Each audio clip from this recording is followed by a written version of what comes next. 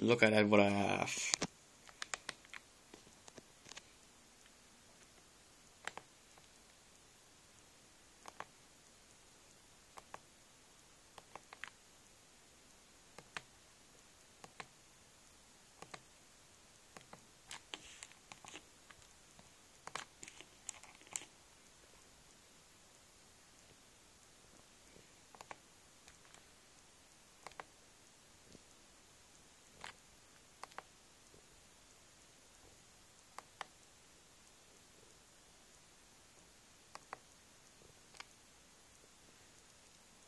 Five the fucking same Pokemon.